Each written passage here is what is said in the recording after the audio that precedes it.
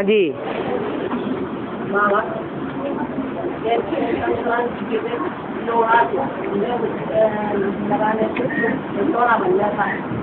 संक्रांति के दिन लोहे में क्या लगा देते हैं तो सोना बन जाता है। आपके पास पारस है? हैं? किसी ने देखा? लोहे को सोना बनते हुए? है? लोहा, अर्थात तमो प्रधान आत्माएँ तमो प्रधान दुनिया।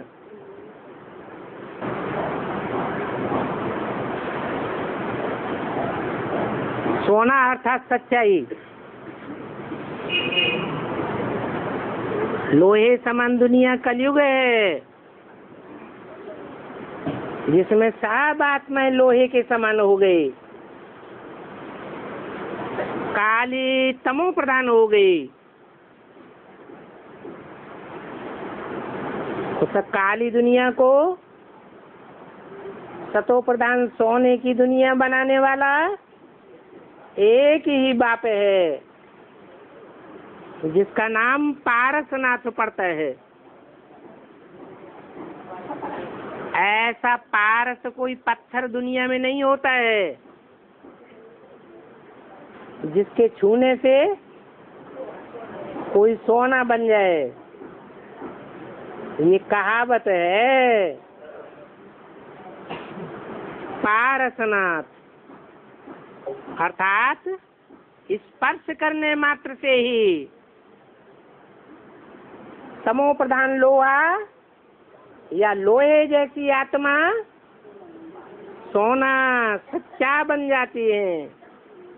सतयुगी आत्माएँ बन जाती हैं। भक्ति मार्ग में ये कहावत बना ली है, संक्रांति के दिन। क्या नाम है? मकर संक्रांति। इसकी यादगार है। हैं? मकर संक्रांति है ही मक्कार शंकर की यादगार।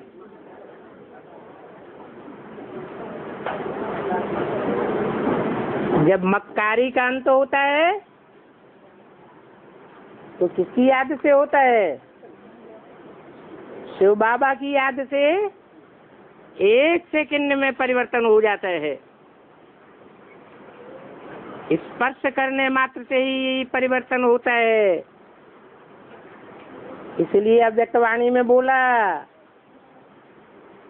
जो देखे, जो सुने उसके मुख से निकले कि हमारा बाप आ गया। सिर्फ़ ब्रह्मा कुमारियों का बाप नहीं, सारी दुनिया के मनुष्य मात्र का बाप आ गया। आँख से देखने मात्र से ही ऐसा प्रभाव पड़ जाएगा। कान से दो शब्द सुनने मात्र से ही ऐसा प्रभाव पड़ जाएगा। उस समय का गायन है मकर संक्रांति। और वो मकर संक्रांति किस दिन पड़ती है? चौदह जनवरी को ही पड़ती है। अंग्रेज़ों की भी वही तारीख है। और हिंदुओं का भी वही दिन है। उसमें कोई अंतर नहीं पड़ता है। सारी दुनिया के लिए वो एक दिन निश्चित है। जबकि कहा जाएगा, संबत एक एक और एक। जिसकी यादगार है।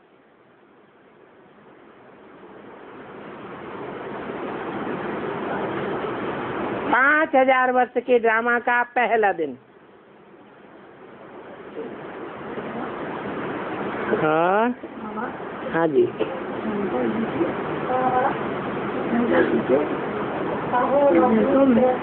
ज़ोर से बोलो ना तो उनको पता चले कि इधर भी कोई बोल रहा है।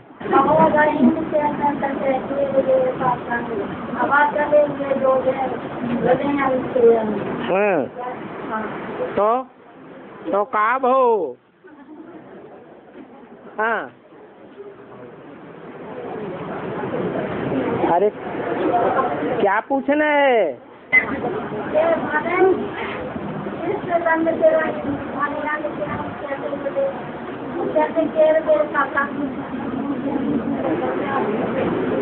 जो भिकारी है, वो बबूल अथवा बेर के कांटे हैं। और जो केले हैं, वो निर्विकारी हैं। जब कोई अनुष्ठान करते हैं तो कौन सा पौधा लगाते हैं? केले का पौधा लगाते हैं। जैसे बाबा कहते हैं, हंस और बगुले इकट्ठे रह नहीं सकते। अगर इकट्ठे रहेंगे तो बगुले तो बक बक ही करते रहेंगे। कांटा लगाने वाली बातें ही करते रहेंगे। झूठी बातें सुनाकर दूसरों का दिल खराब करते रहेंगे।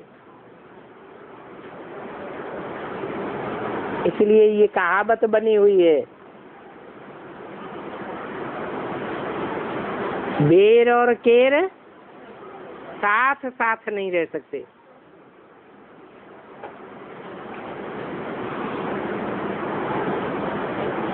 वो बेर का पौधा केले के सारे पत्तों को फाड़ देगा। जैसे कहते हैं एक मछली सारे तालाब को गंदा कर देती है। और? शंकर जी के जुआ बंधा रहता है रुको हाँ। शंकर जी के जुआ बंधा रहता है उसका अर्थ क्या है? है। शंकर की जटाएँ खुली हुई नहीं रहती हैं? खुली हुई भी जटाएँ हैं और जूड़ा भी बंधा हुआ है। इससे साबित होता है, बहुत सी ज्ञान की बातों के रहस्य खुल गए हैं और बहुत सी ज्ञान की बातें अभी बंद ही हुई है। इसलिए बाबा कहते हैं सारा ज्ञान एक साथ नहीं सुनाए सकते अभी सारा सुनाए देवे तो आगे चल के क्या सुना देंगे जब तक जीना है तब तक पीना है हाँ जी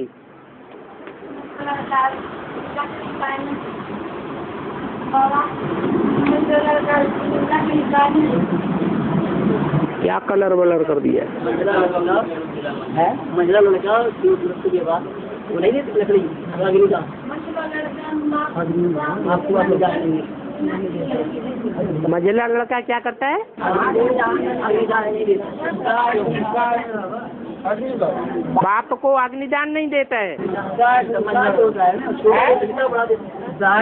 जो होता है ना हाँ। तो पूछ रही है माता के मजला बच्चा जो है हाँ। नहीं। अग्निदान नहीं देता है। हाँ पांडवों में संगम युग में पांडव हुए ना तो उन पांडवों में मझला लड़का कौन था? अरे भीम था कि नहीं था? भीम पक्का युधिष्ठिर जैसा देवता था या राक्षसी स्वभाव का था? है? राक्षसी स्वभाव का था। बाकी पाँच पांडवों में चार को ऐसे नहीं कहेंगे। कैसे राक्षसी स्वभाव का था? सौ कौरवों को उस अकेले ने मारा था।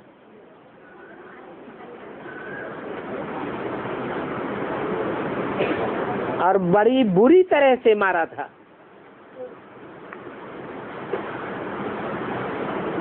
अनेकों राक्षसों को मारा था और सौ कीचकों को भी मारा था।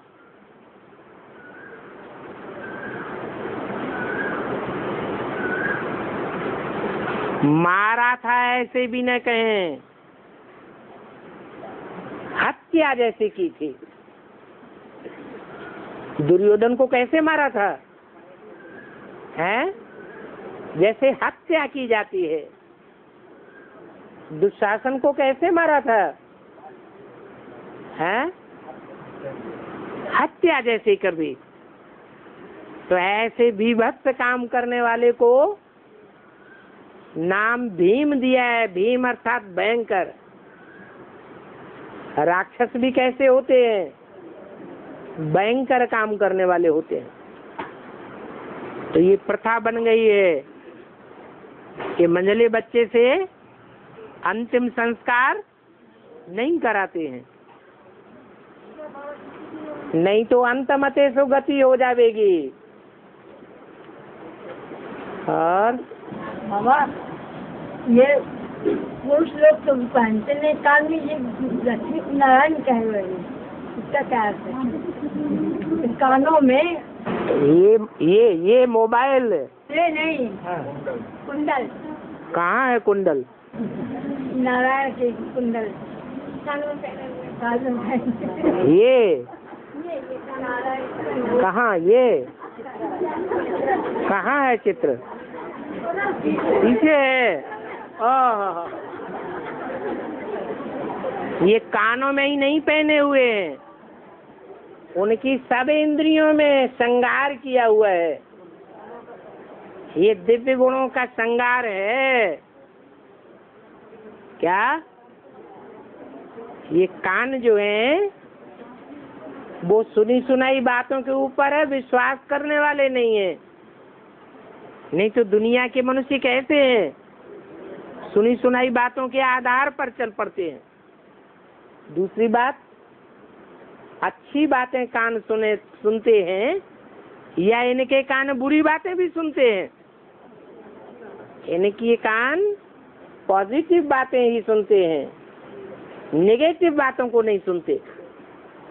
तो ये श्रृंगार कैसे दिखाएँ? इस श्रृंगार को दिखाने के लिए ये कान में कुंडल पड़े हुए। और? है? है। प्रजापिता जो है। वो सारी मनुष्य सृष्टि का बीज बाप है। जो बाप है, वो दुनिया का सबसे जास्ती श्रेष्ठ से श्रेष्ठ पद धारण करता है। श्रेष्ठ से श्रेष्ठ गुण भी धारण करता है।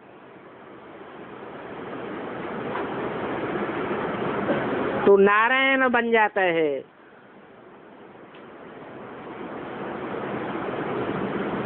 जब नारायण बनता है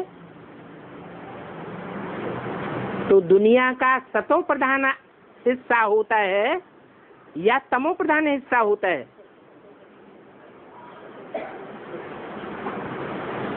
कौन सा हिस्सा होता है? सतो प्रधान दुनिया का हिस्सा होता है।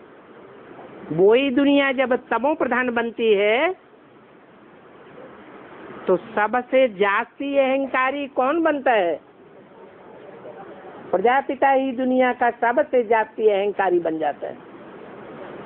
इसलिए मैं मैं करने वाला बकरे का सिर उसको दिखाया हुआ है। ये तमो प्रधानता की निशानी है। वो आत्मा दुनिया की सबसे जास्ती तमो प्रधान भी बनती है और सबसे जास्ती तत्व प्रधान भी बनती है। इसलिए प्रजापिता को शास्त्रों में बकरे का मुख भी दिखाया है। और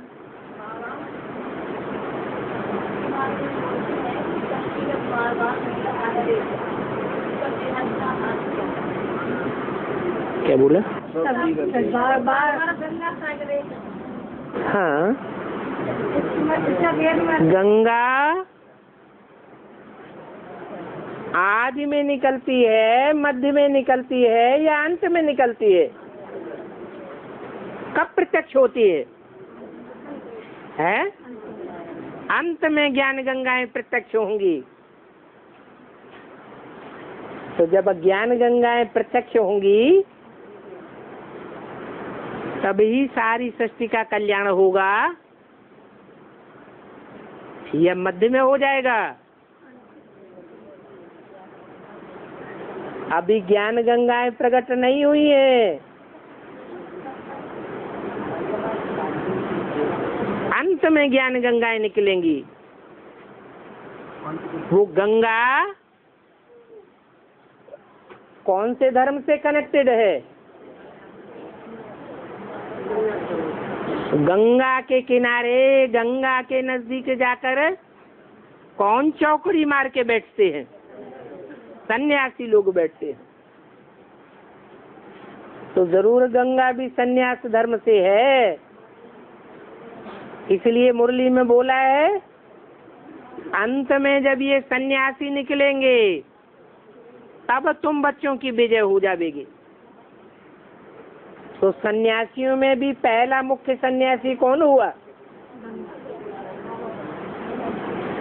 मुख्य सन्यासी भीष्म पितामह को माना जाता है। मुख्य सन्यासी भक्ति मार्ग में शंकर का बड़ा बच्चा कौन? कार्तिकेय। उनको बड़ा सन्यासी माना जाता है। बहुत पावरफुल आत्माएँ हैं। जन्म जन्मांतर उन्होंने पवित्रता के लिए पुरुषार्थ किया है।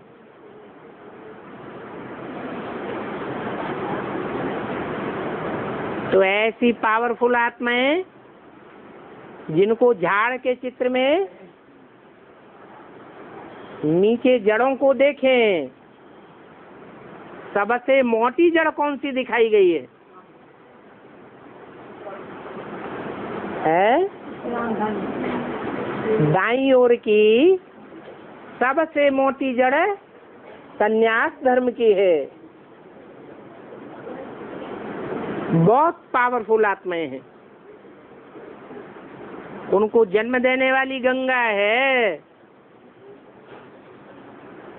वो गंगा जब निकलेगी तो सागर से मेल होता है। ज्ञान सागर को ही सागर कहा जाता है।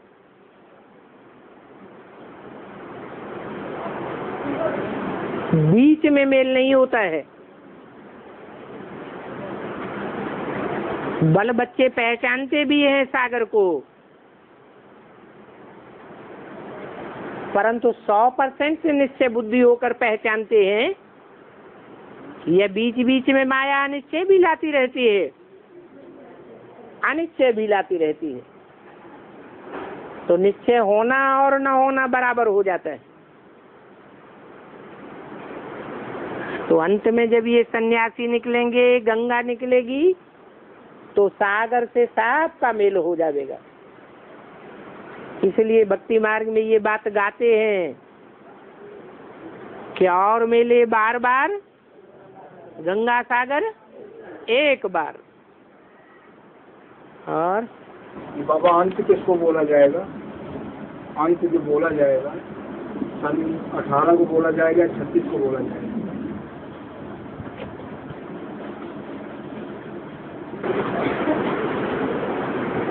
अति का अंत कहा जाता है। क्या? अति का अंत कहा जाता है। और अति करने वाला कौन है?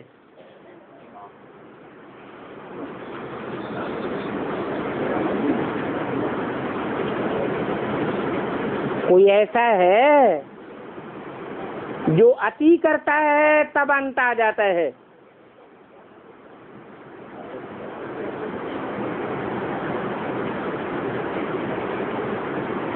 विकारों की भी अति करने वाला कौन है?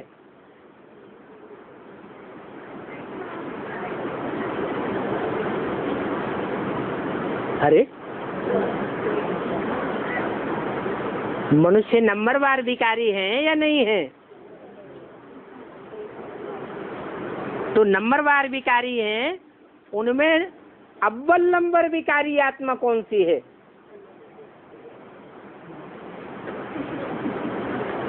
गुट गुट के क्यों बोलते? ज़ोर से बोलो ना।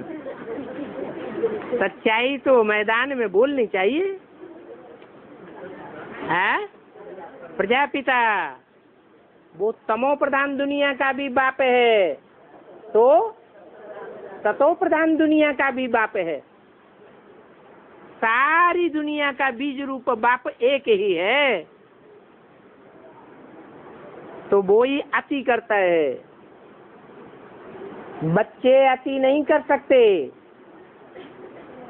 तो बाप को ही ये अति करने के लिए मैदान में आना पड़ता है। इसलिए शास्त्रों में दिखाया है कि ये विषय विकार रूपी विष किसने पिया किसी की हिम्मत नहीं हुई। एक शंकर ने ही ये विष विकार रूपी विष पिया तो अति एक के द्वारा होती है। अंत भी एक के द्वारा होता है। इसलिए उस एक के सर के ऊपर गंगा दिखाई गई है। और शादी है कर शादी हो तो पटाखा छोड़ते हैं। है। सही बात है।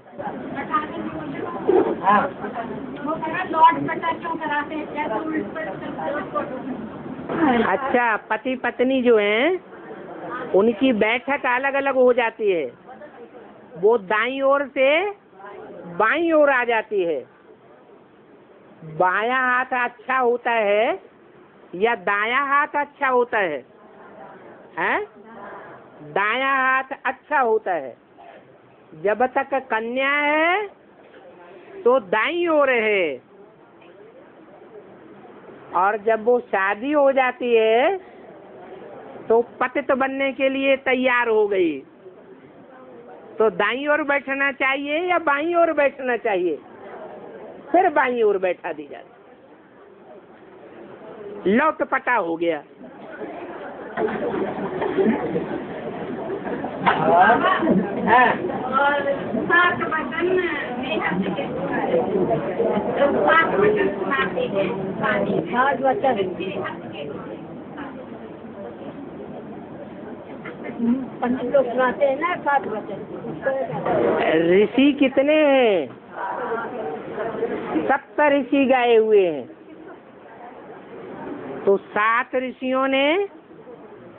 सात प्रकार से पवित्रता को धारण किया हुआ है।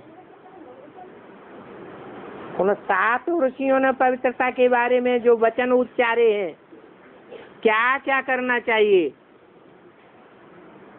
वो सात प्रकार के वचन शादी में लिए जाते हैं। पंडित बीच में बिचौलिया बनता है। और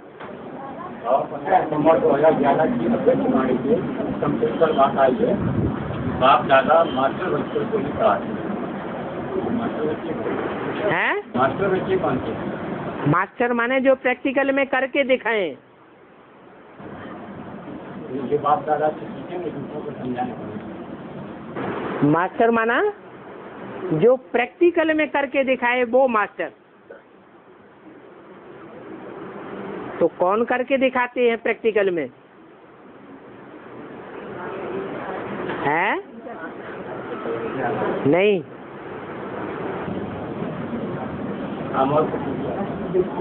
वो सात बच्चे जो प्रैक्टिकल में करके दिखाते हैं। अष्टदेव हैं। अष्टदेवों में एक तो स्वयं भगवान ही है। और बाकी बचे? सात वो प्रैक्टिकल में करके दिखाते हैं कि वो संगठन क्या होता है, जिसमें एक भाषा हो, एक धर्म हो, एक राज्य हो, एक मत हो, एक कुल हो। वो प्रैक्टिकल शुरुआत सात बच्चों के द्वारा होती है। इसलिए उनको मास्टर कहा जाता है। शिव बाबा को भी सर्वशक्तिवान कहा जाता है। भगवान सर्वशक्तिवान है। लेकिन करने वाला करता है या करता है? वो तो करता है। फिर जो अकर्ता है, उसका तो गायन ही नहीं होगा। जो करता है, करके दिखाता है। वो ही मास्टर हुआ। शिव बाबा सिर्फ़ बताने वाला हुआ। करने वाला कौन हुआ? बच्चे ही करने वाले हुए। और? हाँ, भक्ति मार्ग में भी कहते हैं कि जो कुछ करता है तो भगवान करता है। हैं करता है। भगवान आत्मा भी है और शरीर भी है। निराकार आत्मा है, साकार शरीर है। दोनों का मेल है तो भगवान है। या सिर्फ़ आत्मा है तो भगवान है। है? दोनों मिलते हैं तो भगवान है। इसलिए जो भगवान है, वो करने के आधार पर पूजा जाता है। जो कुछ करके जाते हैं, उनकी मूर्तियाँ बनाई जाती हैं, जैसे नेताओं की मूर्तियाँ बनाते हैं। उन नेताओं ने कुछ किया है, ऐसे ही मूर्तियाँ बना देते हैं। शिवाजी की मूर्ति बनाते हैं, महाराणा प्रताप की मूर्ति बनाते हैं, महारानी लक्ष्मीबाई की मूर्ति बनाते हैं, देवताओं की मूर्ति बनाते हैं। तो उन्होंने कुछ किया है या ऐसे ही बनाते हैं? किया है। और शिव की मूर्ति नहीं बनाते, लिंग बनाते हैं। इसका मतलब क्या हुआ? है? इसका मतलब हुआ कि देवताओं की मूर्ति बनाते हैं, जिसमें सब इंद्रियाँ दिखाते हैं। इंद्रियों से ही कुछ न कुछ किया जाता है। और शिव की मूर्ति नहीं बनाते हैं। उनका सिर्फ़ लिंग बनाते हैं। और देवताओं की सारी इंद्रियाँ पूजी जाती हैं। लिंग नहीं पूजा जाता।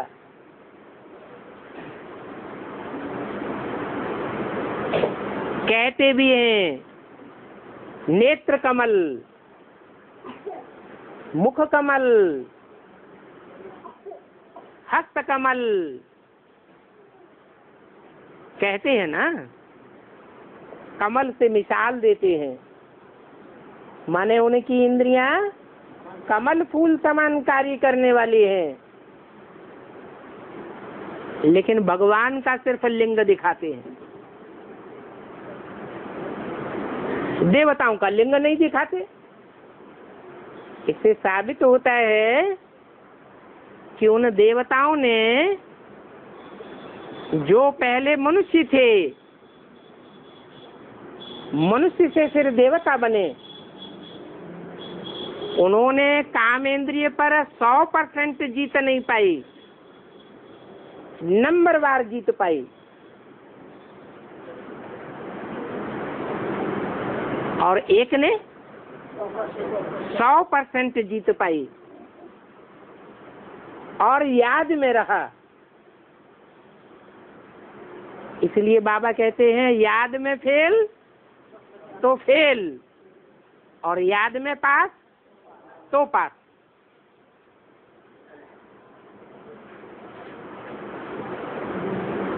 तो कर्ता की निशानी है या अकर्ता की निशानी है?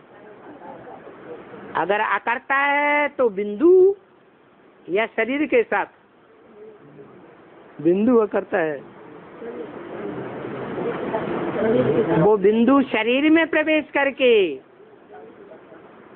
उस कामेंद्रिय से काम तो करता है। परंतु किया हुआ, न किया हुआ, बराबर है। मनुष्य उस इंद्रिय से काम करते हैं तो रिज़ल्ट क्या आता है? कुछ रिज़ल्ट आता है? अरे अरे बच्चा पैदा होता है कि नहीं? होता है, और वो एक ही है। जैसे बाबा कहते हैं, इंद्रियों से कैसे कार्य करना है? ऐसे कार्य करना है, जैसे मिसाल दिया जाता है, कानों से सुनते हुए न सुनो। क्या सुनते हुए न सुनो? सबसे जास्ती दुनिया में किसकी ग्लानी होती है? शिव बाबा की। लेकिन गायन है उसके लिए। बल सबसे जास्ती ग्लानी होती है। दुनिया में नाम ही कलंकी अवतार कर दिया है। लेकिन उसके मन के ऊपर, बुद्धि के ऊपर कोई असर ही नहीं होता। नहीं तो किसी आदमी के सामने उसकी ग्लानी करो तो आग बबूला होने लगता है। लेकिन शिव के लिए ऐसा नहीं है। और जब वो बाहर की दुनिया के लोग ज्ञानी करते हैं। उसको सहन नहीं किया जाता उसमें तो जवाब देना पड़ता है। ज्ञान युक्त जवाब क्यों नहीं देना है? हाँ। जैसे क्या कहते हैं बाबा लड़की जो है देश विदेश भेज देता है बेच लेता है। हमने कहा भैया ऐसा नहीं है बाबा बेचता नहीं वो संगम उचित प्रश्न है कि देवता भगवान विष्णु को देख नहीं रहा है।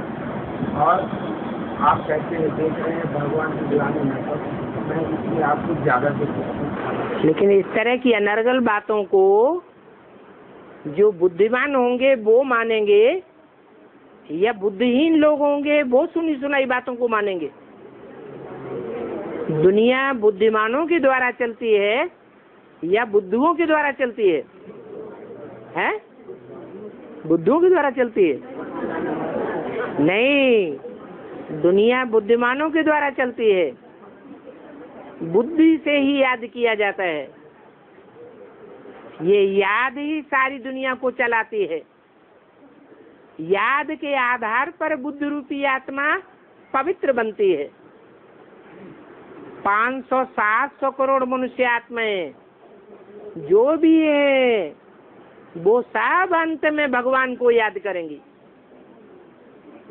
और बुद्धियोग की पावर धारण करेंगे। इसलिए शास्त्रकारों ने भक्ति मार्ग में कह दिया, परमात्मा सर्वव्यापी है। परमात्मा सर्वव्यापी नहीं है, परमात्मा की याद सर्वव्यापी है। जिसने जिसने बैटरी ने जितनी पावर भरी है आत्मा, ने पावर भरी है भगवान को याद करने की, वो पावर ही काम करती है दुनिया में। जब तक वो पावर है, हर आत्मा अपना कर्तव्य करती है। पावर नहीं रहती है तो कर्तव्य भी नहीं कर सकती। तो परमात्मा बाप सर्वव्यापी है, या उसकी याद की पावर सर्वव्यापी है। याद की जो पावर है, वो सर्वव्यापी है। अंत में ऐसी स्टेज आ जाएगी कि दुनिया की नास्तिक से नास्तिक आत्मा होगी। एटम बम का इजाद करने वाली आत्मा होगी। उसके मुख से भी निकलेगा ओ गॉड फादर वो भी विश्वास कर लेगी कि भगवान इस दुनिया में कोई चीज़ है। वो भी उस स्वरूप को याद करेगी अंतिम क्षण में। और याद की पावर से अपनी आत्मा को पा, पावन बनाएगी। और बीज पैदा हुआ है द्रौपदी की रक्षा क्यों कर पाई भीड़ जटाऊ सीता की रक्षा क्यों करी क्या संबंध भीष्म पितामह ने रक्षा नहीं कर पाई। रक्षा नहीं कर पाई थी और वो भीड़ जटाऊ ने सीता जी वो रावण लिए जा रहा था। कहाँ रक्षा कर पाई वो तो ले गया। उसने रक्षा क्यों कही तुम्हारा लड़ा था। लड़ाई तो महाभारत में अठारह अक्षोणी ने की। लड़ाई करना बड़ी बात नहीं है, लेकिन लड़ाई करने के बाद जीतना बड़ी बात है। भीष्म पितामह ने बड़े बड़े युद्ध जीते।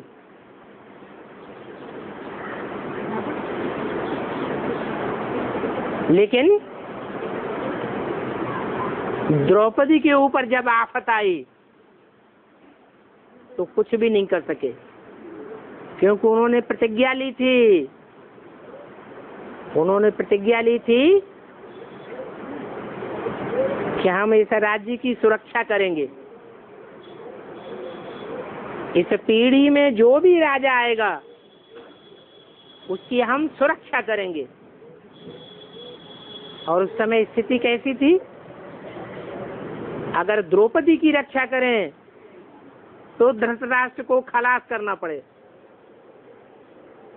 धृतराष्ट्र के ऊपर वार करना पड़े, क्योंकि धृतराष्ट्र बंध चुका था दुर्योधन में। आज की दुनिया में वो धृतराष्ट्र भी बैठे हुए हैं। कौन है धृतराष्ट्र? नहीं, जो बड़े बड़े टाटा, बिरला हैं, पूंजीपति हैं तो धृत राष्ट्र है। धृत माने हरण कर ली है। धारण कर ली है धृत राष्ट्र माने संपत्ति। गरीबों की संपत्ति किसने धर ली है? हैं? धृतराष्ट्रों ने धर ली है। परंतु बड़े मोही है। क्यों? क्यों मोही है? जहाँ हमारा धन होगा, वहाँ हमारा मन होगा। जितने भी धन संपत्ति वो कमाते हैं। करोड़ों अरबों, वो सारी संपत्ति का बड़ा हिस्सा बड़े बड़े नेताओं के पास चला जाता है। चुनाव में। तो उनका मोह उसमें अटका हुआ है। और वो नेताएँ दुर्योधन का पाठ बजाए रहे हैं। कैसा युद्ध करते हैं? चुनाव में। जातिवादी का युद्ध करते हैं? या पक्षपात का युद्ध करते हैं? या अपक्षपात का करते हैं?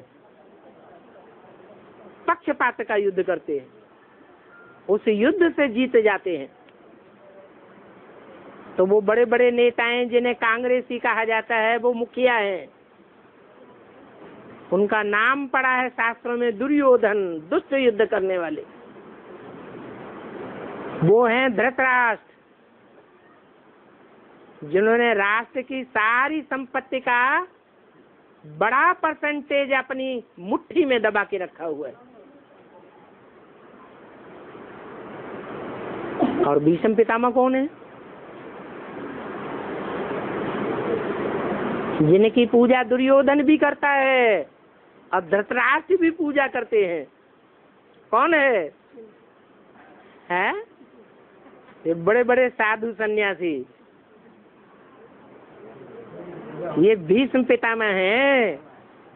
नेताएँ भी उनकी पूजा करते हैं, मानते हैं। और धृतराष्ट्र भी उनकी पूजा करते हैं। लेकिन पांडवों का पक्षधर इनमें से कोई नहीं है। अभी प्रैक्टिकल में पांडव भी है। पंडा बाप की संतान। उनको तीन पैर पृथ्वी के नहीं मिलते। और दुनिया में जो झूठी झूठी धार्मिक संस्थाएँ हैं, चाहे क्रिश्चियंस ही क्यों न हो, चाहे मुसलमान ही क्यों न हो उनको बड़ी बड़ी जमीनें दे दी जाती हैं।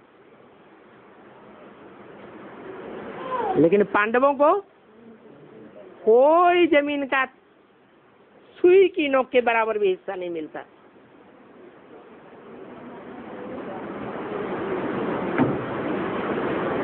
और?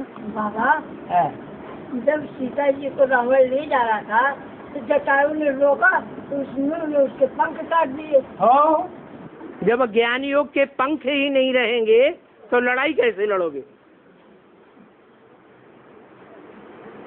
यहाँ ब्राह्मणों की दुनिया में लड़ाई कौन सी है?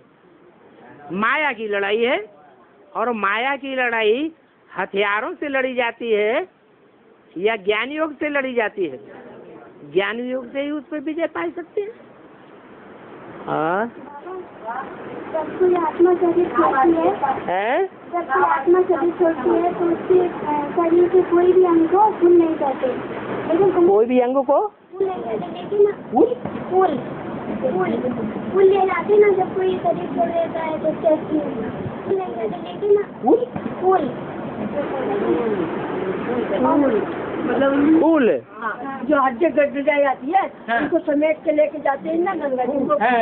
पूरी फूल हड्डियों का फूल में है? तो के गंगा जी में गंगा जी में ले जाते हैं। हाँ। हैं हड्डियों को। हाँ हाँ। फूल जो है, हल्का होता है या भारी होता है? हल्का होता है। तो शरीर की जो भी हड्डियाँ हैं, उन हड्डियों में सबसे छोटी हड्डियाँ कौन सी होती हैं? इसलिए उनको फूल कहते हैं। हाँ। और?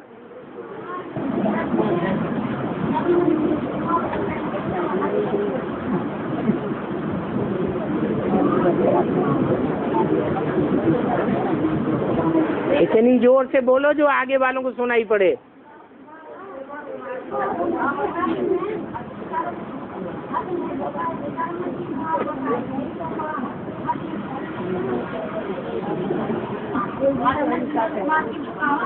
हैं? हाँ। श्रवण कुमार। श्रवण कुमार का मतलब है जिस श्रवण माने, जिससे सुना जाता है। बहुत जिसका सुनने सुनाने में कीर्ति आती है। वो श्रवण कुमार अपने अंधे माँ बाप को कंधे पर बिठाकर सारे तीर्थों की यात्रा कराता है। तीर्थ किसे कहा जाता है? तीर माने किनारा। ठिकाना। और था माने स्थान। अर्थात एक ठिकाने लगाने वाला स्थान। ढेर के ढेर तीर्थ हैं।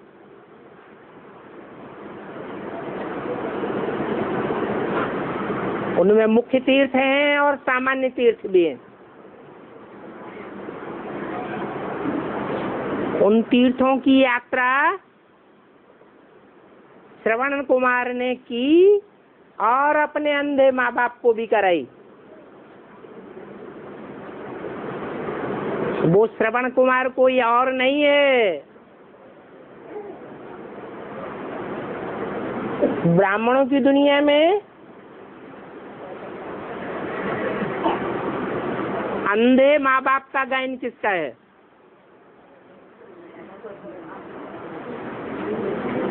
अंधे की औलाद अंधे।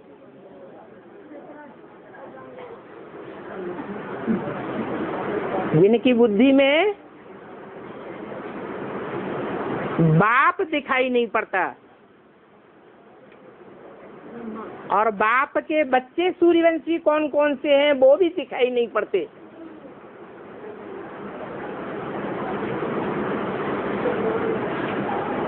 सत्य क्या है? वो दिखाई नहीं पड़ता। और असत्य कौन कौन है, वो भी दिखाई नहीं पड़ते।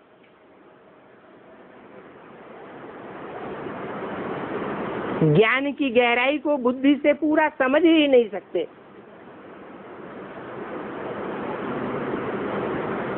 क्योंकि आदि में भी उन्होंने बाप को नहीं पहचाना।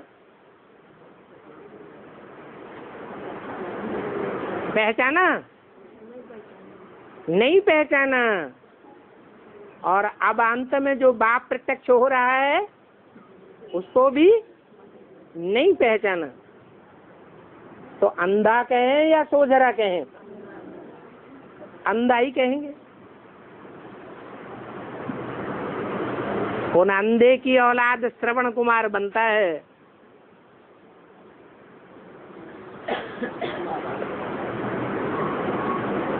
जिसने अपने कंधे पर बोझ लिया हुआ है।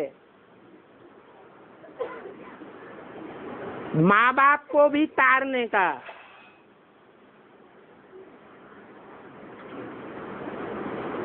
वो मम्मा बाबा वाली आत्माएँ प्रवेश करती हैं उसके बुद्धि रूपी क्षेत्र में।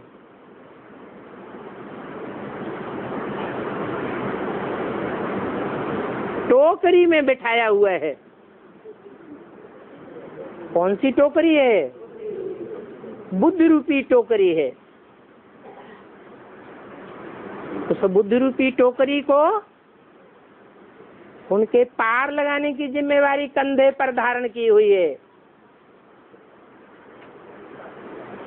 जहाँ जहाँ श्रवण कुमार खुद चक्कर काटता है, उसके माँ बाप भी जाते हैं साथ में। उन उन तीर्थों की चैतन्य तीर्थों की यात्रा करते हैं। इस समय की यादगार भक्ति मार्ग में ऐसे ऐसे दिखाई दी है स्थूल रूप में। और? बाबा जब श्रवण कुमार पानी लेने गए थे तो दशरथ जी ने तीर मारा था क्यों मारा? इसका क्या है। दशरथ कौन है? रथ माने शरीर। वो कौन दस शरीर रूपी रथ है?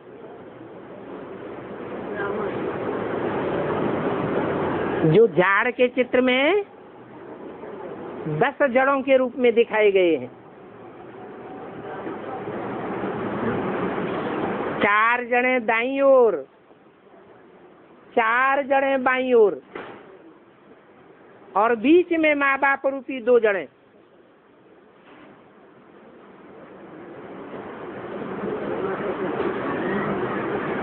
यज्ञ के आदि में ये दसों जड़े मौजूद थे।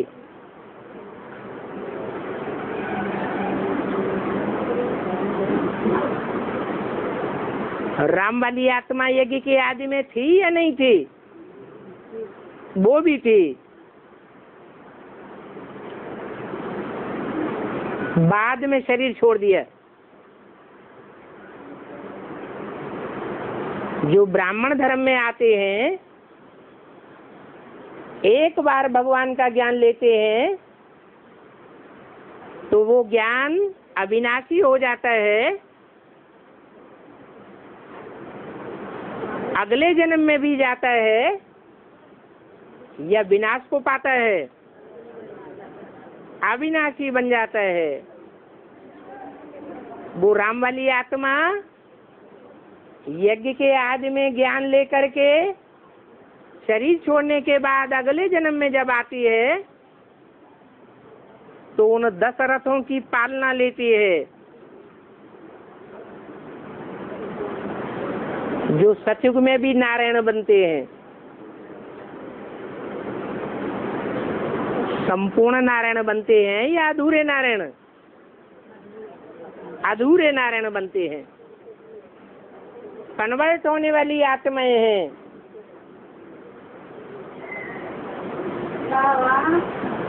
वो कन्वर्ट होने वाली आत्माएँ रावण राज्य की स्थापना के निमित्त बनती हैं। या राम राज्य की स्थापना के निमित्त बनती हैं। वही आत्माएँ अभी संगम युग में राम की पालना करती है। कब तक? जब तक ब्रह्मा बाबा मौजूद रहे। बाप बच्चे की पालना करता है। इसलिए राम वाली आत्मा उन दशरथों की औलाद कही गई है शास्त्रों में। वो दशरथ दस आत्माएँ, यज्ञ के आदि से लेकर के, और सेवेंटी सिक्स तक प्रत्यक्ष होती है। राम वाली आत्मा की पालना के निमित्त बनती है। वो ही रावण संप्रदाय भी है। रावण के दस मुख भी हैं।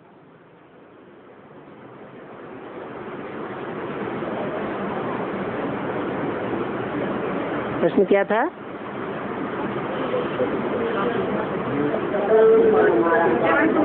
बाण मारा। हाँ। तो वो दशरथ वाली आत्मा जो रावण संप्रदाय है, उसकी लड़ाई खास किससे होती है? राम की आत्मा से लड़ाई होती है। तो स्थूल बाणों की लड़ाई होती है या ज्ञान के बाण की लड़ाई होती है। ज्ञान के बाणों की लड़ाई है। यज्ञ के आदि में वो लड़ाई जब हुई थी तो राम वाली आत्मा अनिश्चय बुद्धि बनी, या निश्चय बुद्धि बनी? है? अनिश्चय बुद्धि बन गई। अनिश्चय बुद्धि बनना माने मर जाना। आदि में ही खलास हो गई।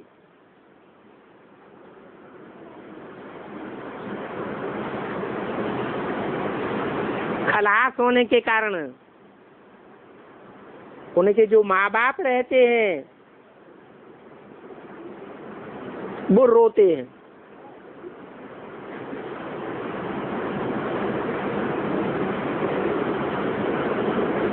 जैसे दुनिया में बच्चा मर जाता है जो माँ बाप की परवरिश करने वाला हो तो माँ बाप को रोना पड़ता है।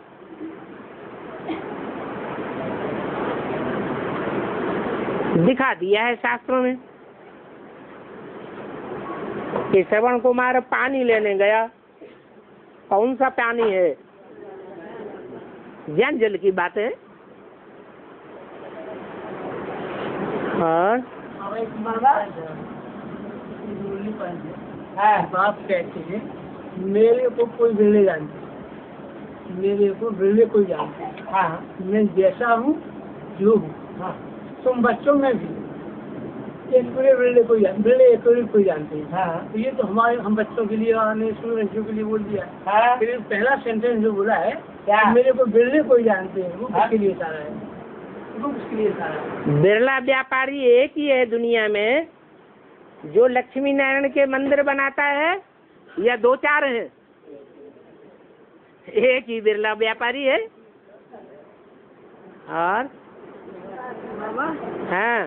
एकादशी के दिन चावल क्यों नहीं खाया जाता?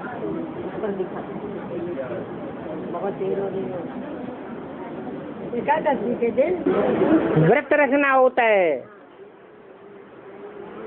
वो व्रत रखते हैं खाने पीने की चीज़ों का। हमारा व्रत कौन सा है? हैं? हमारा व्रत है विकारों का। जो विकार है, वो आत्माएँ धारण करती हैं या शरीर धारण करता है? आत्मा ही विकार धारण करती है। आत्मा ही निर्विकारी बनती है। तो जिस आत्मा का छिलका उतर जाता है उसकी मिसाल चावल से दी गई है।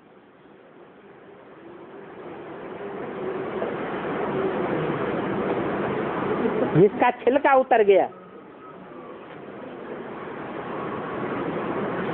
निश्चय बुद्धि का छिलका उतरा हुआ कहें, या अनिश्चय बुद्धि का छिलका उतरा हुआ कहें? है? निश्चय बुद्धि का कहें कि छिलका उतरा है। जैसे मुरली में बोला, आत्मा की बेसिकली सारी कट उतर जाएगी। तो तुम बच्चे डायरेक्ट बाप से सीखेंगे।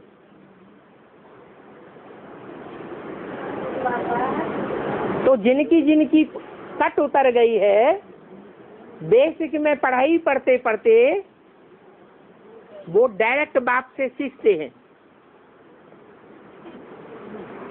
वो आत्मा को कहेंगे बेसिकली छिलका उतर गया। वो देह अभिमान का छिलका जिनका बेसिकली उतर जाता है, उनको जो नए नए पुरुषार्थी निकलते हैं, व्रत धारण करते हैं, कि हमें विकारों को ग्रहण नहीं करना है। उनका फ़र्ज़ बन जाता है। तो उन आत्माओं से लगाव न लगाए, जिनका छिलका उतरा हुआ है। अगर लगाव लगा देंगे तो नीचे गिरेंगे या ऊपर उठेंगे? क्यों? क्योंकि दुनिया वालों से संग कार्य करेंगे तो लोहे की जंजीर में बंधेंगे। और ज्ञान में चलने वालों का संग करेंगे, लगाव लगाएँगे तो सोने की जंजीर बन जाती है। सोने की जंजीर और लोहे की जंजीर में ज़्यादा तोड़ना कठिन किसका होता है? लोहे की जंजीर तो अभी छेनी लगाओ, तोड़ दो, फेंक दो। कोई दुख नहीं होगा। लेकिन ये सोने की जंजीर का हिसाब किताब तो चौरासी जन्मों से बनता है। इसलिए ये तोड़ना बहुत मुश्किल हो जाता है। इसलिए एकादशी व्रत रखने का दिन जो है, वो ये माना जाता है कि चावल नहीं खाना है। और बाबा जो नहीं व्रत रहती वो भी नहीं खाती इनका क्या है? कौन नहीं खाते? जैसे कि मतलब दक्षिण भारत वाले सारे ही खाते हैं चावल। तो बहुत ऐसे है कि दक्षिण भारत वाले ज़्यादा ज्ञानी या उत्तर भारत भारत वाले ज़्यादा ज्ञानी? उत्तर भारत के ज्ञानी माने जाते हैं। इसलिए उत्तर भारत में चावल खाना ज़्यादा पसंद नहीं करते। और दक्षिण भारत में चावल ज़्यादा खाते हैं। दक्षिण भारत सागर के ज़्यादा नज़दीक है या उत्तर भारत ज़्यादा नज़दीक है? दक्षिण भारत में बाप ज़्यादा जाता है या उत्तर में ज़्यादा जाता है? दक्षिण भारत में बाप ज़्यादा जाता है। तो दक्षिण भारत ज़्यादा नज़दीक हो गया। दक्षिण भारत है भारत का विदेश। विदेशों में विदेशी धर्म की आत्माएँ रहती है। जो विदेशी धर्म की आत्माएँ हैं,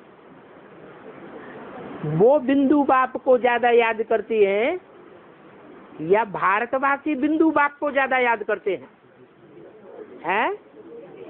विदेशी ज़्यादा याद करते हैं। वो बाप के ज़्यादा नज़दीक हैं। कौन से बाप के? आत्माओं के बाप के। हाँ? ओम शांति।